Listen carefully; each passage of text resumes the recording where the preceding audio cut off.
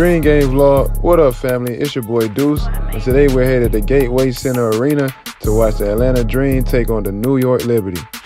I love that they brought a Dream to the south side of Atlanta because that's where I'm from, and I feel like we got the best home arena in the WNBA. The New York Liberty came into this game as the second best team in the Eastern Conference, so I knew we were in for a tough battle.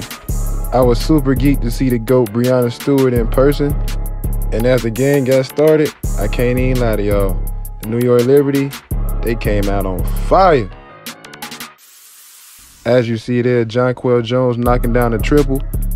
Cheyenne Parker there knocking down a nice jumper from the high post. Breanna Stewart joined the party with a nice fadeaway jump shot from the low block.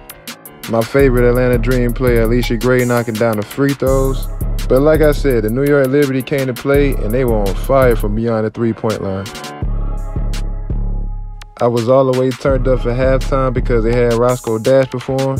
Shout out to Roscoe, he had the party going crazy at Savannah State.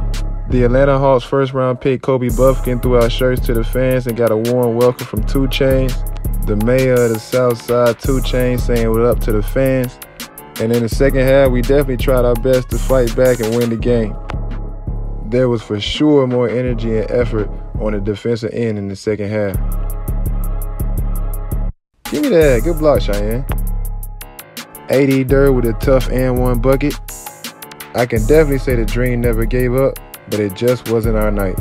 As it got closer and closer to the end of the game, the New York Liberty turned up the pressure on defense.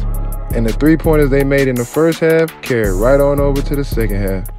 And even though we didn't win, I had a great time watching the Atlanta Dream play, and I'll definitely be back again.